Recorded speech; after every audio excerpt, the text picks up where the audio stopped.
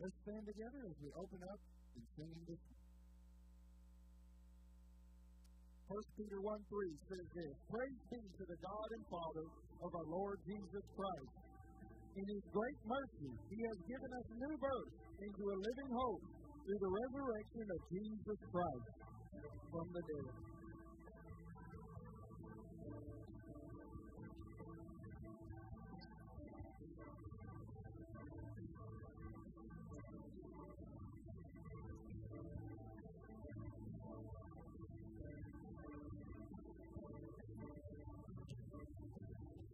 God who reigns forever, and all the world will know His name.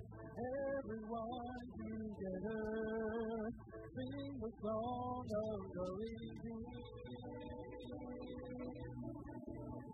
I know that my Redeemer lives, and now I stand on what He did. My Savior, my Savior lives. Every day a brand new chance to say.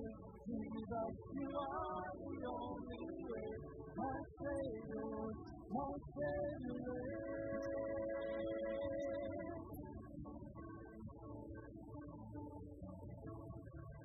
The King has come from heaven.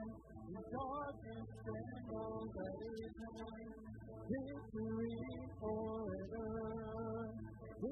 song of the redeemed. I know that my Redeemer lives, and I stand on what He did. My Savior, my Savior lives. Every day brand new chance to say, Jesus, you are the only way. My Savior, my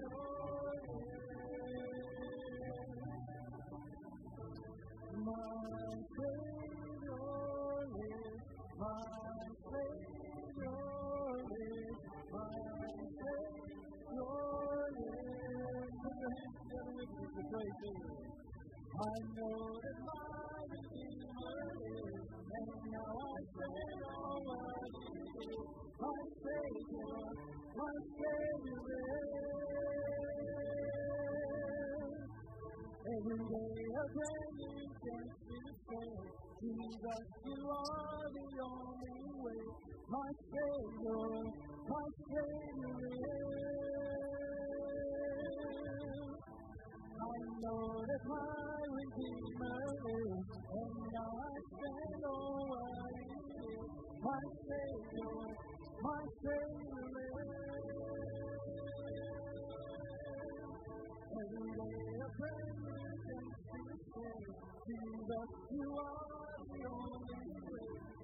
Savior, my Savior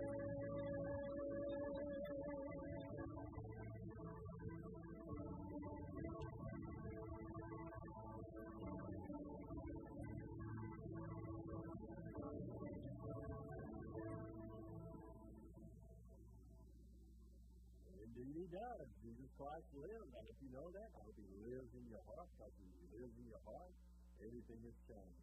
God lives in us to honor him, to glorify him, and for our good. And if we follow him, all the ways and words of Jesus Christ, it's a wonderful, wonderful thing. I you know that today. And so we're here to celebrate Jesus. We're here to worship Him. We're here to sing to Him praises and honor His name because He's worthy in every way.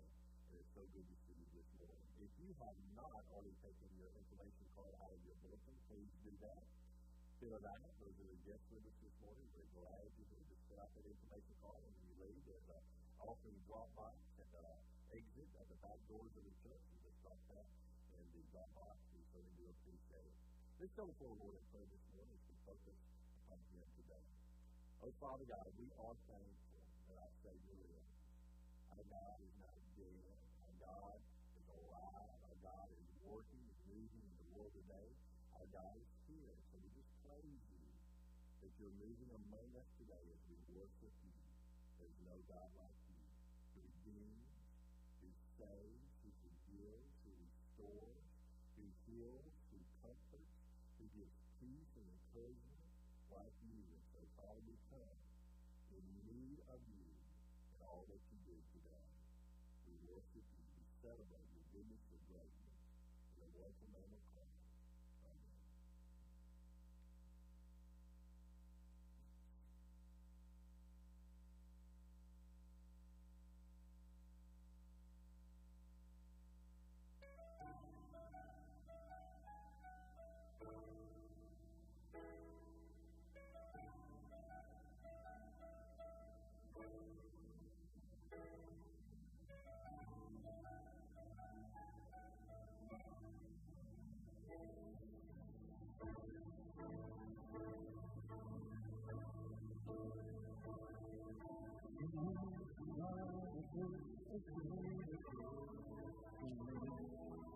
There's a reason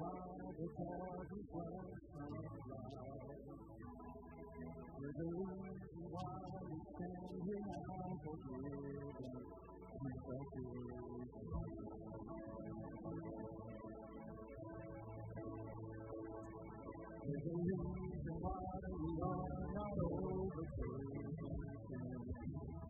There's a reason why we dream of you.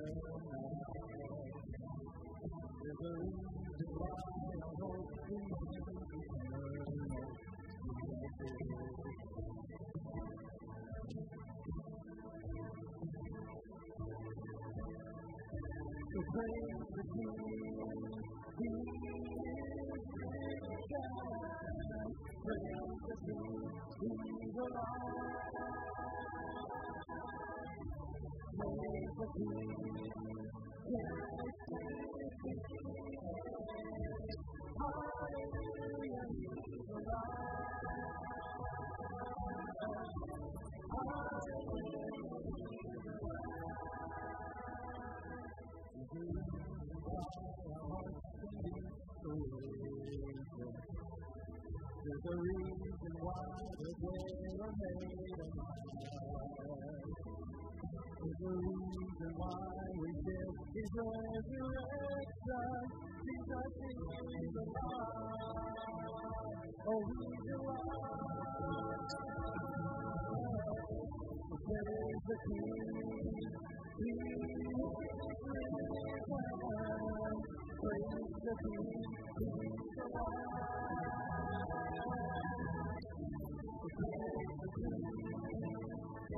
For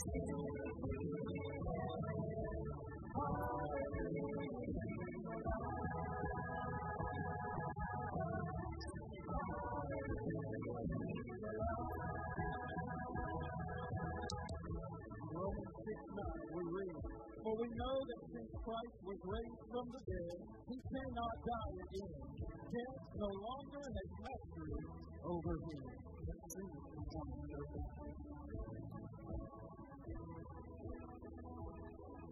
The grace did not ignore it when all of heaven's glory, nowhere is your victory.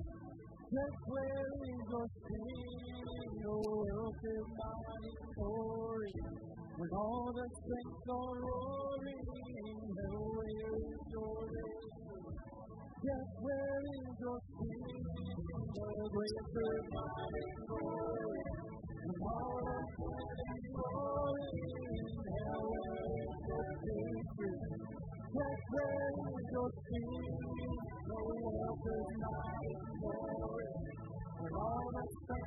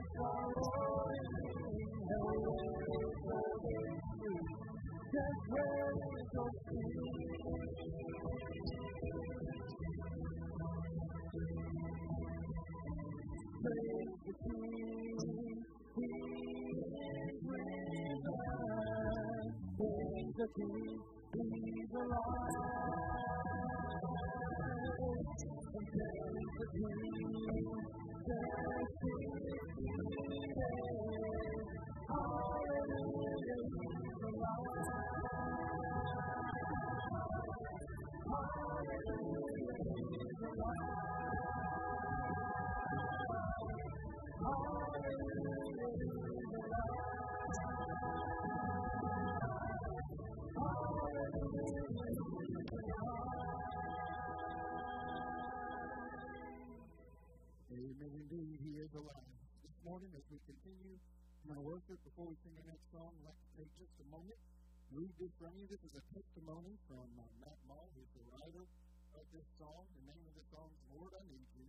This is what he had to say about the song when he was asked about how he was led to write it. He said this, he said, Most importantly, I hope that people understand the importance of relying on God.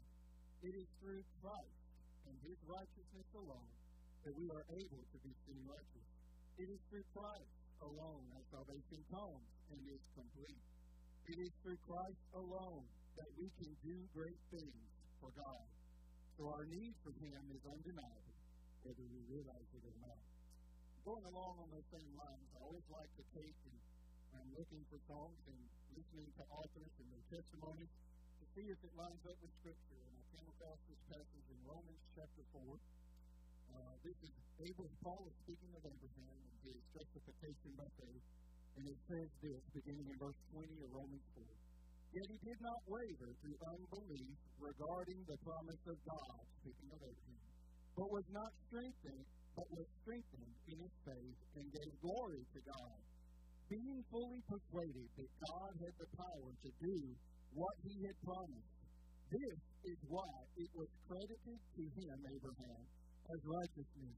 The words, it was credited to him, were not written, were written not for him alone, but also for us, to whom God will credit righteousness to. For us who believe in him who raised Jesus from our Lord from the dead. He was delivered over to death for our sins and was raised to life for our justification. Will you pray with me this morning? Heavenly Father God, we are so thankful, Father, that when you look at us, when we have accepted Christ as our Savior, you no longer see our sin, but you see the righteousness of God, your righteousness through Christ Jesus. Father, we give you praise. May it help us and remind us each day, Father, just how much we need to. We give you thanks in your name we pray.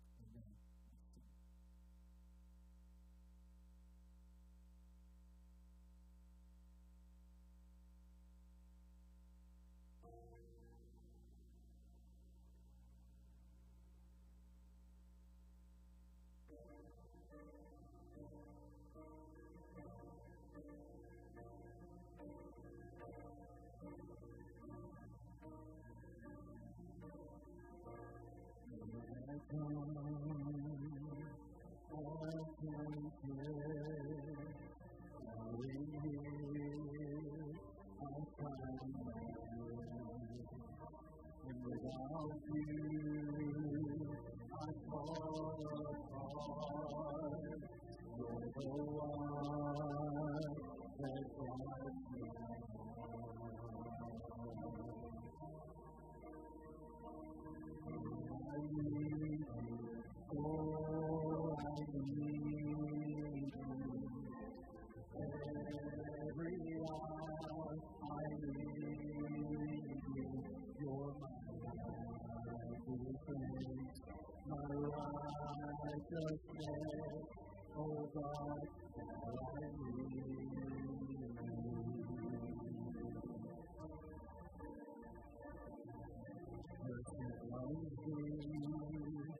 Your grace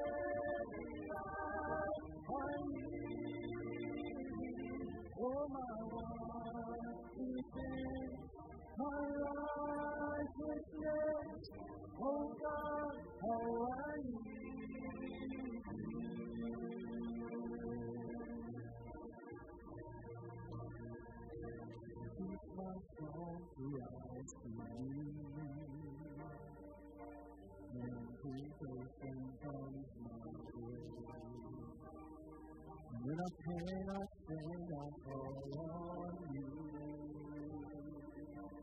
Jesus, my. When I cannot stand, Jesus, you're my hope and faith. Lord, I need you. Oh, I need you. Every hour I need you. You're my life. Defend my righteousness. Oh God, how I need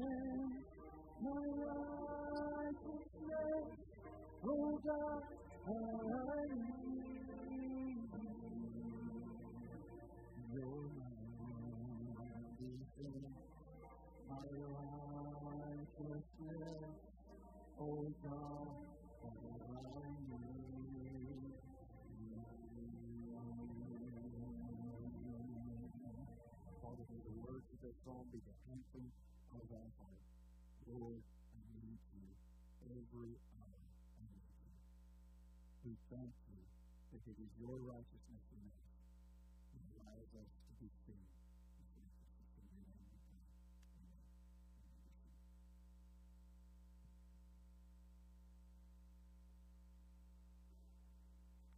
Turn back in your Bible to 2 Timothy. 2 Timothy 1. Over the past few weeks, we have been in a series of messages on making disciples of Jesus Christ and being disciples. And 2 Timothy chapter 2, verse 1 and 3 is kind of like the theme verse of discipleship, of being a disciple and making disciples. And so we're concluding our series back in 2 Timothy. Also take your sermon insert to follow along with the message this morning to help you further study on our subject this morning. Now, 2 Timothy chapter 2, verse 1, where the Apostle Paul is speaking to Timothy and through the Holy Spirit speaking to us, where the Scripture says, You then, my son, be strong in the grace that is in Christ Jesus. And the things that you have heard me say in the presence of many witnesses, entrust to reliable men who will also be qualified to teach others. And endure hardship with us, like a good soldier of Christ Jesus, being a disciple of Jesus Christ. We've said a lot of things over the past several weeks about being disciples. And on your outline, I've just put some of the major points to kind of summarize some of the things we talked about.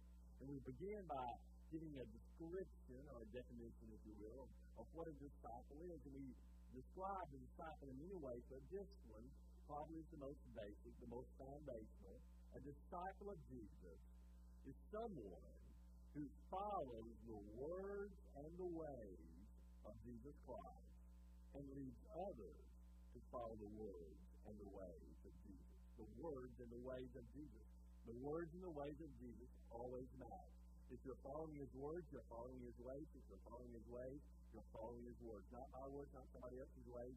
It's the words and the ways of Jesus. That's what a disciple is. And then we also said we are to be disciples of Jesus, and our mission is to make disciples of Jesus. We're to be disciples, but it doesn't end there.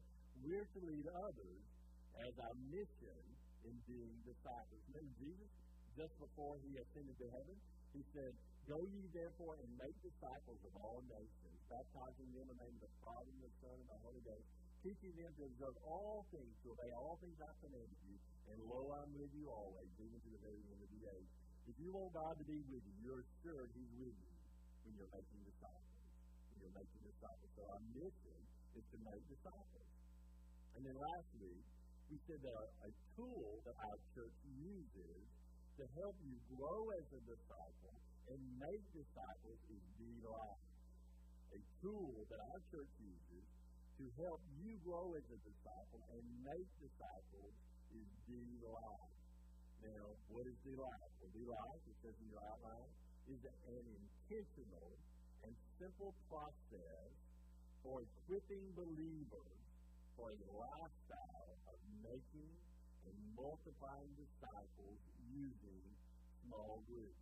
And last week we talked a lot about why we use small groups. We said Jesus used small groups. Early church primarily used small groups.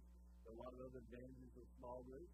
But D-Life is a tool that we use for making disciples. If you're making disciples another way, that's great.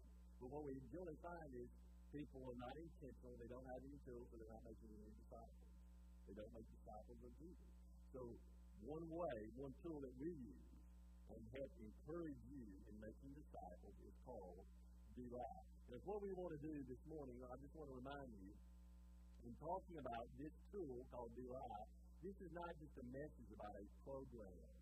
You know, are D-Life. It's not just about that, but it's about making disciples and being very practical about you being a disciple of Jesus and leading others to being a disciple. We want to talk about six practices of a disciple of Jesus. And these six practices Jesus modeled for us. Jesus had his small group, they're called the disciples, the apostles, the twelve. He modeled these six practices for his disciples because he wanted these six things to be true in their life and they're to be in us also. And so in our D-Life groups that we have, we have these six things also. But just a couple things I want to say before we talk about these six things. One is, some people say, well, I'm in a Sunday school class. Oh, or I'm, not, I'm in a Bible study class. Why do I need to be in a D-Life group? Well, the purpose, the primary purpose of a Sunday school class or a Bible study is a little different from the primary purpose of a D-Life group. So they have little different purposes, and we'll be pointing out a few of those in the message today. But a D-Life's primary purpose is to make disciples, and the practice of doing that we'll talk about. Then another thing I just want to address is, uh, some people say, well, you know, to maybe it sounds like being in a D-Life group or being a disciple or even leading a group, I've got to be an expert in the Bible, and I'm no expert. No, you don't have to be an expert. I don't know a whole lot of experts in the Bible. And certainly with you grow in the understanding and the knowledge of God's Word, be a Bible teacher, a Sunday school teacher. There's many things you have to know about the Bible. But the thing is, a disciple is a learner, is a learner, a learner of God, a follower of the truth of God. And we're constantly to be learning. So to be a disciple, you don't have to know it all, even most all of it. But you have to have a willingness to learn. And that's primarily what a disciple is, a learner.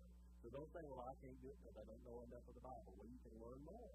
You can grow. And by the way, if you ever start being serious about being disciple, you'll learn and you'll grow great things in great ways. So we're talking about the practices of being a disciple that Jesus modeled for his 12 disciples. They're the practices that we have in these uh, groups called D-Life groups. We're going to talk about The first one on your outline is fellowship. Fellowship. And sometimes when we hear the word fellowship, we think about fellowship, things that we call fellowship, like uh, let's have an ice cream fellowship. Everybody like that?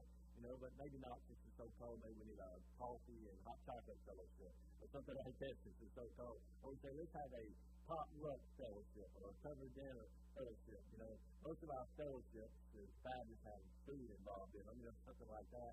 So we think of that in the context of a fellowship, but that's not necessarily what Jesus modeled for his disciples. Instead, at the heart of fellowship that he modeled with his disciples was being together, having a common purpose and mission in what they were about. For example, look on your outline in Mark 3, verse 13 and 14. It says, Jesus went up on a mountainside, and he called to them those he wanted, and they came to him. He appointed 12 men that they might be with him, and that he might send them out to preach. So they came to him so that they might be with him. There was fellowship. There was a companionship or an involvement with each other. They had to be together. And so that's one of the big things you see in being a disciple. It involves people. You cannot be a disciple in isolation. That's one thing that's been really hard during a pandemic. Making disciples, being together when everything is telling us to be separate, be isolated. But being a disciple involves fellowship, coming together. On the inside of your outline, there's this verse, and you'll see this repeatedly in the Gospels. And speaking of Jesus talking with his uh, disciples, Luke 8, verse 1. After this, Jesus traveled about from one town and village to another, proclaiming the good news of the kingdom of God, and the twelve were with him. With him. They spent a lot of time being together. And Jesus modeled for them what it meant to be a disciple. So Jesus modeled fellowship with his disciples, not just for their benefit, it was for their benefit, but it was for ours also in making disciples, that we need to spend some time being with people that we are discipling. And so a D-Life group meets together one time a week, and they come together, the group is meeting together, they are companions, and they're doing some other things we're talking about, but they come together. And they may meet on Sunday, they may meet on Monday, they may do it a weekday, they may do week night, and they meet during the weekend. A D-Life group can meet anytime, anywhere, but it has this important practice of fellowship being together at least once a week with them.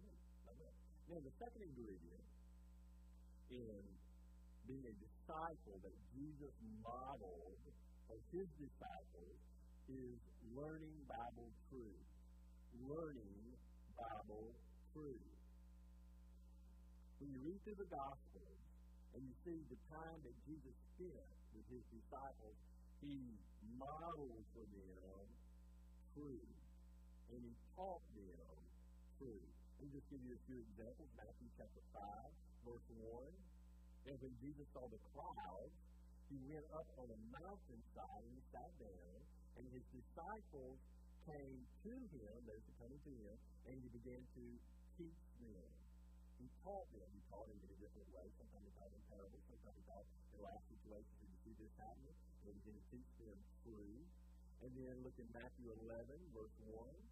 After Jesus had, in, had finished instructing his disciples, he went on from there to teach and preach in the towns of Galilee. So he instructed his disciples, he taught them, and then he went out and modeled teaching for them. And then in Matthew 13, verse 36, then Jesus left the crowd and he went into the house.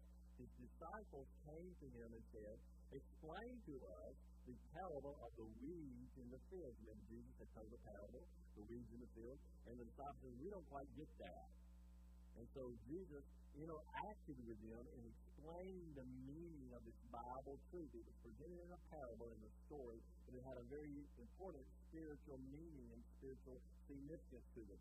And so part of his teaching and instructing in Bible was not just telling them, it was explaining to them and showing them how that actually worked. He was seeking to fill their mind with truth. You see, this is one thing that's so very important in being a disciple. A disciple is someone who's growing in truth. Their mind is increasingly being filled with the Word of God. You know, in Romans 12 it says, Be not conformed to this world, but be transformed by the renewing of your mind, so you may prove that good, acceptable, and perfect will of God. We are constantly being bombarded in this world with untruth. We are constantly being bombarded and told lies in this world. It comes through so many different things. It comes through the media, it comes through music many times that we listen to on the radio. It comes from things that the people we're hanging around say and do and model for us in a bad way. We're constantly having our mind attacked by untruth. But Jesus said, don't allow your mind to be filled with lies and the untruth and deception. Instead, instead fill your mind with the truth. Remember we said that a disciple is someone who follows the what? The words and the ways of Jesus. Here's the question. How can you consistently follow the words of Jesus can consistently follow his words if you don't know them? And many times we as Christians, we say, well, I want to be a better Christian, but we don't know what God says. We don't know his words. We don't know the Bible truth. So we are to learn the words of Jesus. We're to learn Bible truth. Now, in Sunday school classes, hopefully you're learning Bible truth. But in most Sunday school classes, kind of way it works is you have a Sunday school book, and there's a passage of Scripture that you're studying, and if you're preparing, you'll read the Bible passage that will be talked about in the Sunday school class. You read that before you come to class, but in most cases, it'll take you maybe five minutes to read the Sunday school uh, less, uh, passage that's going to be studied in the Sunday school Bible class, and you can do that one day in five minutes, most likely. In a group, group Remember, we said the purpose is a little bit different. Is to make you a disciple. A disciple is someone who's constantly seeking to fill his mind with the Word of God. So in a D-Life group, each week there are five chapters in the Bible. You're to read one chapter in the Bible a day. You say, well, there's seven days in a week. That's right. You only read one chapter for five days. Sunday, hopefully you're coming to church. You're hearing the Word of God there, so you're spending your mind there. Gives you one day either to catch if you mess up or something like that. But you're reading one chapter in the Bible a day. Now, we, we have some D-Life that are going through the Old Testament. We have some that are going through the New Testament. Let's just say you're going through the New Testament. You'll have one chapter of the New Testament you read every day, five days a week. And in a year, you'll read through the whole New Testament. And then when you read that one that one chapter one day, you're to think about it a little bit. You're to meditate. The scripture says, meditate upon thy word. Don't just read it and move on. Read the pause. And so many times we just think, oh, I just got to read my you know scripture today, you know, chapter today, keep the devil away, or whatever. You know, we just read it and move on. But we're to think about what we've read. That's how it becomes live to us. So we talked about, we mentioned this before, that as we read a chapter, we have the word space. S-P-A-C-E. It's an acrostic to have us think about that passage of Scripture and how it applies to us. The S stands for sin. Is there a sin that this passage, this chapter talks about that I need to confess? You know, a lot of times you'll read a scripture and the Holy Spirit says, that's you. Shouldn't be you, but it's you. You so there's a sin, maybe you need to confess sin. Is there a sin in this passage I need to confess? The P, S-P, stands for promise. Some chapters you'll read and say there's a promise of God right there I've been ignoring. There's a promise that God makes for me. I'm ignoring it. God, ignoring it. God gives us His promises so we'll trust Him and receive from Him. So some passages you'll read, and there'll be a promise. S-P-A. The A stands for attitude. You'll read a passage, and you'll see an attitude in that passage that needs to be changed in your life. It needs to be aligned with it or turned from it. And sometimes God gives the example of things, of attitudes that are wrong in the Bible we shouldn't have. Like a hard-hearted attitude toward God. So you'll read a passage, and there may be an attitude that maybe you see you need to change your life. S-P-A-C. The C uh, stands uh, for command. It's a command I need to obey in this passage. You'll read a passage scripture, and you'll there's a command there. I haven't been doing that. There's a command I need to obey. S-P-A-C-E, the word space, E, example. You read a chapter, and you'll see how somebody is ordering their life, how they're following God, and you say, that's an example I need to follow. Or maybe that's an example I don't need to follow. There's somebody, you know, God gives the example of someone who's not walking with God and not following the words and the ways of Jesus. So you look at a passage, one day uh, of that week, that chapter, you read the five chapters a week, and you say, okay, what's the space in this? How do you apply it? So you can just think about it. And then, when you come together one day of the week to meet, there'll be one of those chapters that you'll come together and discuss. And in your book, you'll have four or five questions that you'll ask yourself about that chapter so you can come together in your group. You can talk about it, and that's put the Word of God in your heart. That's developing God's Word in your heart. And you say, well, why is that all very important? Because the Bible tells us this what it to be a disciple. Filling our mind and our heart with the Word of God. 2 Timothy 2 verse 15 says, Do your best to present yourself to God as one approved, a workman who does not need to be ashamed and who correctly handles the word of truth. Listen, Christians need to be students of God's word who correctly handle the truth. I hear it so much, and I know you hear it.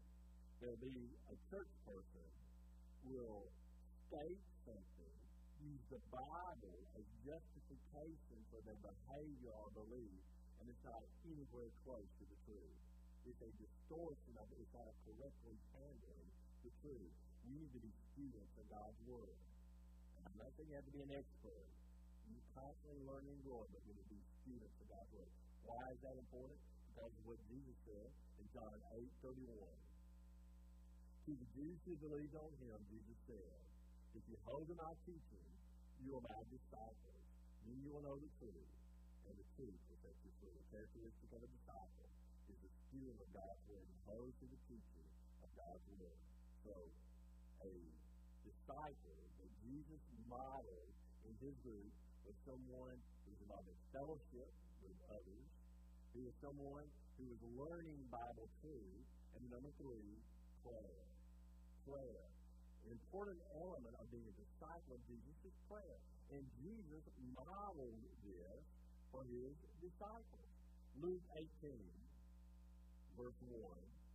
Then Jesus told his disciples a parable to show them that they should always pray and not give up. He told this story about a young woman had a need and she came and she asked the, the one in authority to answer this for her. She kept coming back, kept coming back. And he told this story, this parable, to teach them and to show them that they should be people of prayer and they should keep on praying and not give up. And then in Matthew chapter 6, verse 9 through 13, is a passage that oftentimes we call the Lord's Prayer.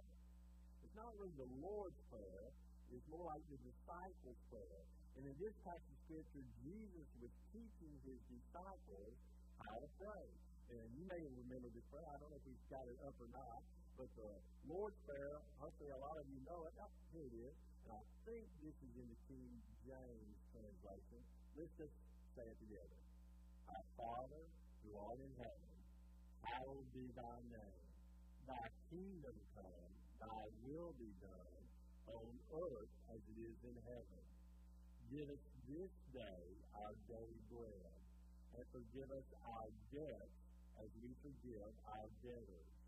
And lead us not into temptation, but deliver us from evil. For thine is the kingdom, and the power, and the glory, forever and ever. Amen. That's in King James. I, I learned some in the King James originally, but since I read so much in the NIV, sometimes I don't go, you know, says, forgive us our debt as we forgive our debtors. You know, I say trespasses because I think that's what the NIV says. But listen, you don't have to pray in King James. Sometimes we think we got to use the vowels and the vowel shouts, and oh, you don't have to pray in King James. You just pray like you're talking, like I'm talking to you. You know, you talk to anybody. You, you just prayer is talking to God. You don't have to use fancy language in talking to God. You just talk to God. And God wants you to talk to Him, and He speaks to us, He guides us, and He directs us. But notice this prayer, Jesus said, this is how you should pray. He didn't say this is what you should pray. He said this is how you should pray. He modeled for his disciples this important element of prayer, of talking to God, communing with God. So when you look at this, what we call this disciples prayer or model prayer, it doesn't mean we have to go around all the time saying There's something wrong with saying it. It helps focus our attention correctly on how we should pray. But what I want you to notice, the elements of that prayer that are models for our praying is what to talk to God about. And just kind of briefly go through it. It says, Our Father who art in heaven. When we pray, we're directing our prayer specifically to someone specifically. We're not just throwing them out there in the cosmos somewhere. They're going particularly to our Father the one who rules and reigns in heaven, the Father of Jesus Christ. We're not praying to Buddha, Muhammad, or Mary, anybody. We're praying to our Father who art in heaven. Hallowed be thy name. That reminds us who he is. He is holy. He is sovereign over all things. You see, many times in our praying, we start out, oh God, give me this, I need that, and get me out of this mess, get me out of this. We just go, we just go into our problems and we focus on what our problems is, or oh, we start focusing on the problems, and the problems get bigger and bigger and bigger. So long we think our problems are bigger than God. So when Jesus modeled praying for us, he said, "So our Father who art in heaven, who rules supreme, supreme, hallowed be thy name. You are holy, you are righteous, you over all things. There is none like you. He said, start focusing on the one you're praying to. Focus on God. And when you start focusing on Him, it puts everything else in the proper perspective, doesn't it? When you pray that way, and you start focusing on God, and start, start not asking for things, it puts everything in the proper perspective. Our Father, who art in heaven, hallowed be thy name. Thy kingdom come. Thy will be done on earth in my life as it is in heaven. See, when we approach God, our attitude is to be aligning ourselves with what God is doing, what God wants, rather than what I want with my wish list and my asking list. Who art in heaven, thy kingdom come, thy will be done in my life. Prayer is aligning ourselves with God, not getting God to align himself with us. Give us this day our daily bread. We're not asking for all, you know, uh, the next 10 years supply of french fries and uh, pizza or whatever, you know, give us today. Teaching us trusting in God part of prayer is taking us trust in God and forgive us our debts, our trespasses, as we are forgiving others. Talk about forgiving. When you, when you in your prayer, you ask forgiveness before God, but also you deal with forgiveness with other people. It sets you right and puts you in a humble position before God. And that's very important. Lead us not into temptation, but deliver us from evil God, he begins with God, makes everything right and properly stated. So that's a model prayer in how we can live before God and how we can pray. In our D-Life groups, we follow that example that Jesus modeled for his disciples, and there's prayer in our do groups. You will, you expect it when you're being a disciple. There's, there's prayer. You don't pray for hours. You know, we generally have our whole time meeting goes about an hour. But we have a, a time of prayer which we pray for each other, we share prayer needs. For our families. We pray for our church, our leaders in our church. We pray for specific needs we know within our church, within our relationships. We pray for our world. We pray for our nation. We pray specifically in DRP's pray for a revival, a spiritual revival in America. And that's your question. Do you think America needs revival right now? Man, we ever need revival. We need when you study history, most every revival took place and there was a massive outpouring of prayer. And the people, the disciples of Jesus, called to God for revival. And so there's this outpouring of prayer to God in our D-Life group. And yeah, we, we pray out loud. And that's where somebody goes, uh oh, that did it. I'm not going to uh, D-Life group because I don't pray out loud. Well, you can question is, you know, will we, not a we, we? We, pray out loud. You can pray out loud. Now realize, you know, most of us have some great fears. One of the greatest fears that all people have is speaking in public. Prayer is speaking, it's talking, and if you're doing it in a group of more than you, it's able to in public. And so we, we fear praying out loud. I think part of it we fear doing it well But like I said, you don't have to pray in a particular way or particular King James or English. And if if anybody ever says, you know, Paul, I don't like the way you're praying, just say, that's okay with me. I'm not talking to you anyway. I'm talking to God. Right? Hey, talking to God. So who cares if anybody else likes the way you pray? You're talking to God. And God wants you to come before Him. But another reason, this, this is just honest, that many times we don't like to pray out loud. Not only is it just talking in front of somebody in public, but prayer is very humbling. You understand? Prayer is very humbling. When you pray, you're acknowledging that He's God and I'm not. I have need. We're just saying, oh Lord, I need thee. Every hour, I, you cannot even breathe apart from God. You, you don't have any life in you apart from God. And we must acknowledge, come before God and acknowledging our need for Him in prayer. And just to be honest, the reason a lot of people, particularly men, don't want to pray out loud is they don't want to themselves before God. So you got to get over that. We got to realize we need God. And we can pray, and we can pray out loud. Yes, God, if we do it, we will pray out loud. And two, in our roots, we're saying, we're modeling. And it's not just about modeling, we're not saying we're doing it perfect. We're just showing out people, other people, that you can talk to God. You know, same way in a family, parents as a model for their children, prayer. You know, the primary disciplers in a family are to be their parents. So, simple way to teach our children to pray is before meals. Dear God, thank you for this food. We recognize we depend upon you. You are our provider. We give thanks to you and we serve you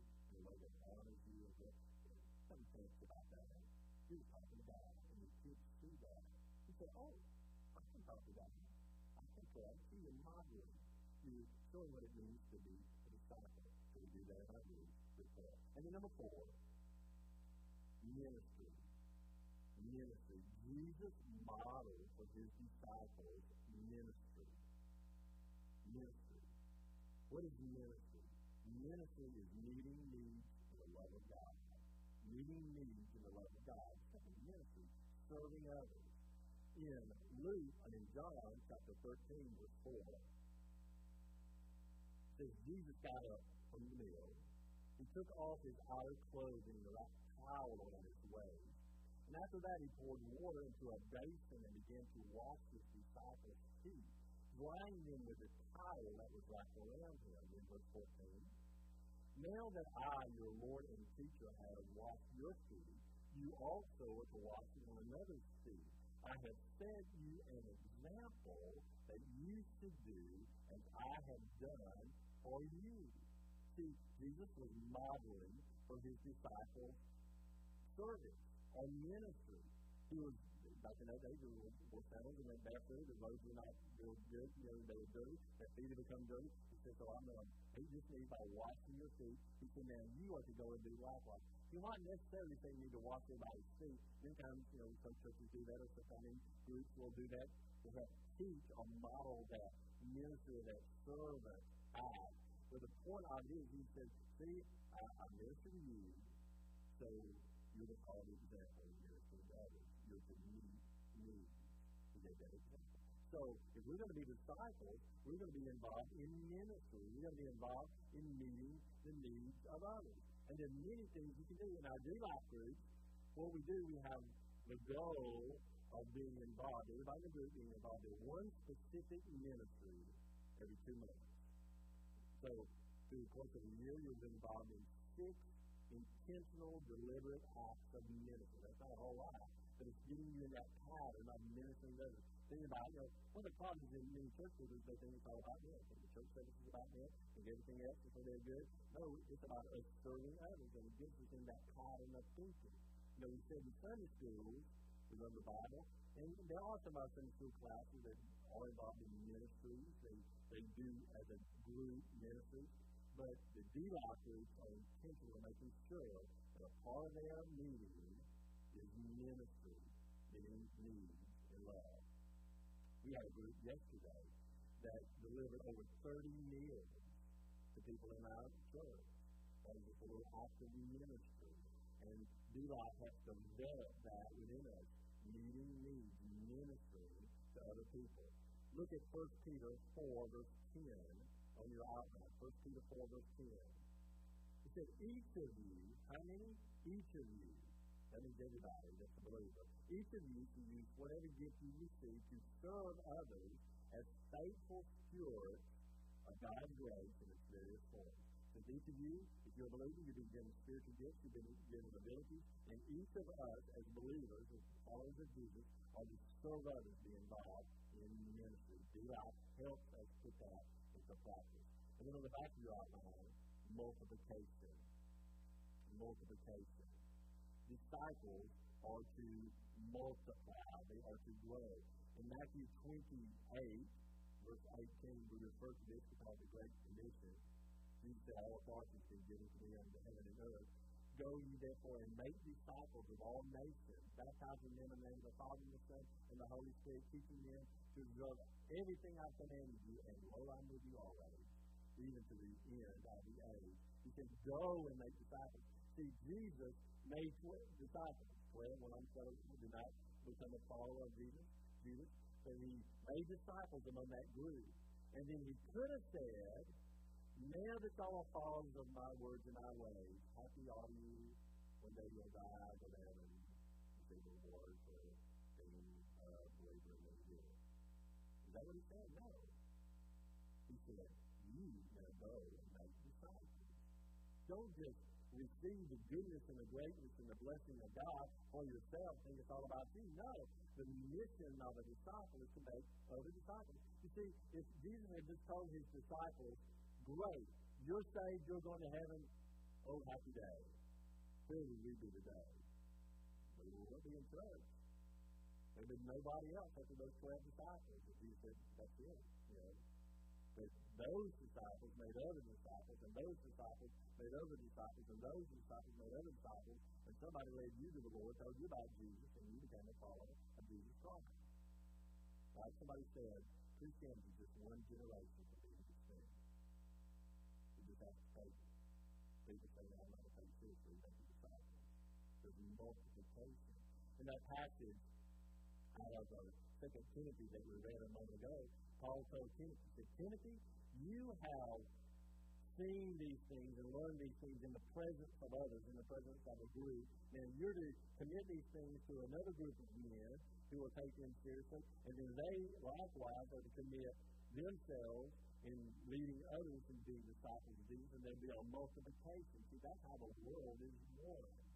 And I think we'll all agree right now, our world is not being born for Jesus Christ. Our world is becoming more and more pagan more and more godless. We to multiply making disciples. See, we had a D-Life group. We're together for a time, there comes a time when those within the group then are to go out and they start their own group. And they, they're to multiply, making more disciples of Jesus Christ. So they say, oh, I don't want to do that. I don't want to start another. I can't do You can't do that because you all have been equipped, so have been trained in that D-Life group then to make disciples. You well, I love my group. I don't want to leave my group. You know, I want to stay here till death do us part. You know, because I love it. And I hear that in some of our groups, and I just love our D-Life group so much. I never leave. Well, you know, it's not just about us. It's about making disciples. I mean, you can have a group you love, but it's about with the multiply. So our mission is to make disciples and to multiply. It's not just for the preachers, not just for Billy Graham. It's for every believer, every disciple to make disciples. And the last accountability. Jesus modeled accountability among his disciples. He modeled accountability. And you can see several times in which he did it, in which he would say, no, no, no, not that. No, no, not that way. This way.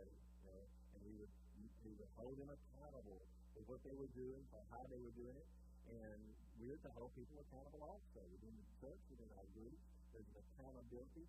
Because have you noticed that we can have some of the best intentions. I can have some of the best intentions.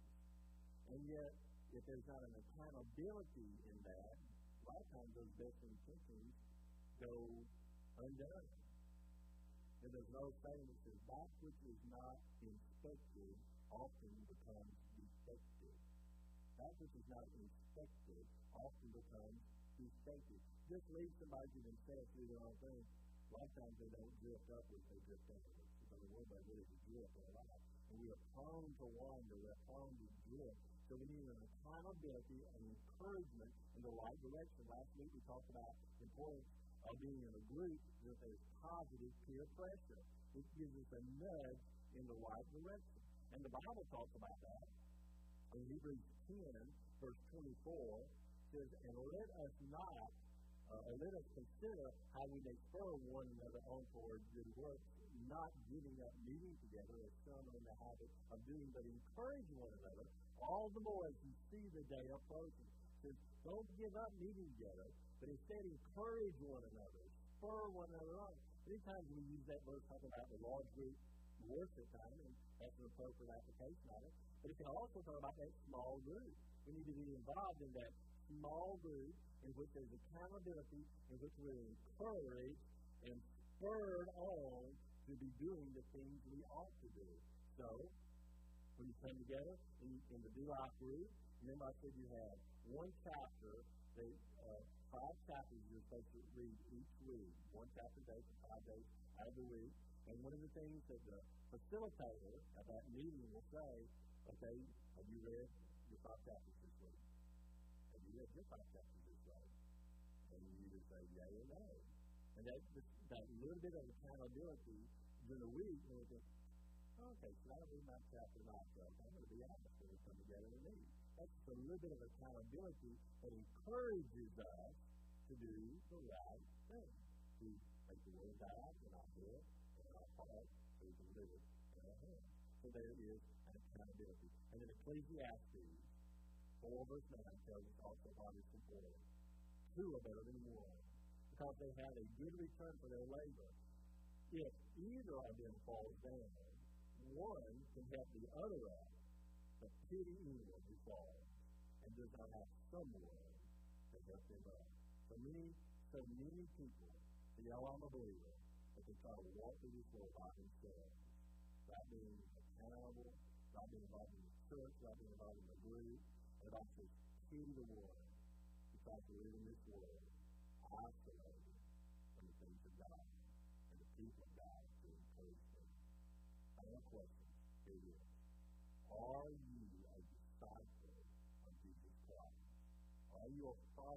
words and the ways of Jesus? Second question, closely related to really what it saying. Are you making disciples? Are you leading others to become followers of the words and the ways of Jesus Christ? Our oh, God, we thank you that you love us. We thank you that you love us so much that you want us to know you, to be in a living, vital, ever increasing relationship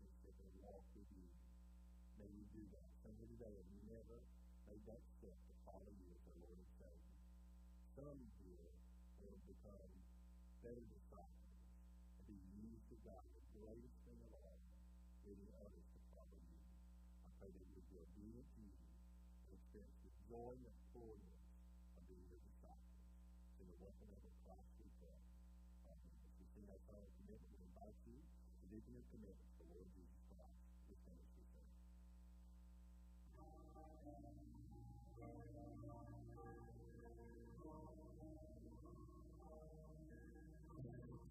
In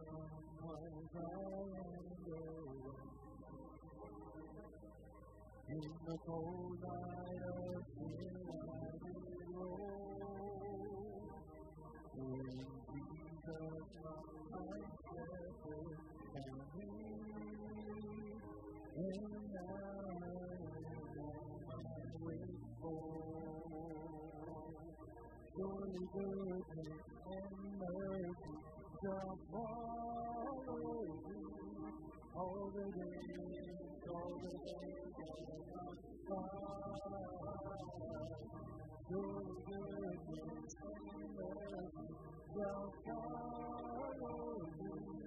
all the days, all the days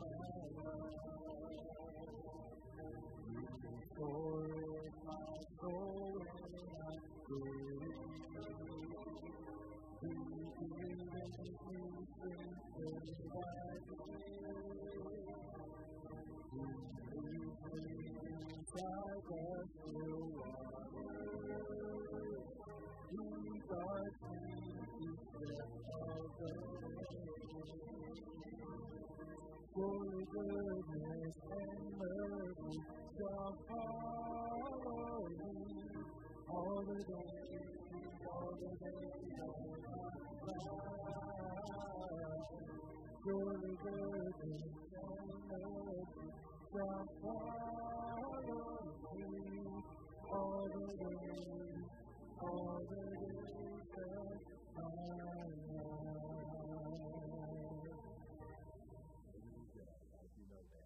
your bulletin, you notice there's a little insert about D-Life. If you'd like to be in a D-Life group, you'd like to lead one, just put a check, fill it out with your name and a contact number, and then drop it in the offering drop out, we certainly appreciate because we're starting some new groups soon. Some will be in the Old Testament, some in the New Testament. If you want to, you can designate on there even when our best time would be, like a weekend or a night or during the day. That help us also in uh, giving you contact with best groups and hopefully fit to you, but I hope you'll take that uh, seriously. Uh, also, you notice in your bulletin an upcoming men's conference that will be here in Huntsville. Keith Ricketts is heading that up. He's the contact person for that. If you are a man and would like to be uh, invited to that group and know some more information, uh, contact Keith Ricketts and he'll give you information about that. So glad you're here. I hope you'll be back Wednesday night. We're continuing studying in the book of Malachi. So I hope you'll be here Wednesday night as we dig into God's Word and stealing God's Word. See you then. Let's close that prayer.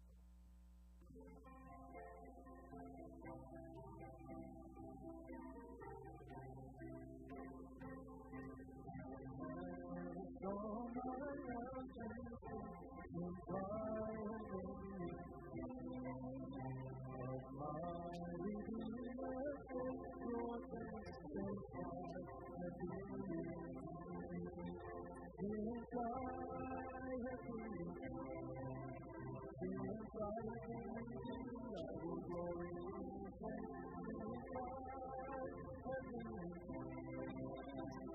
will glory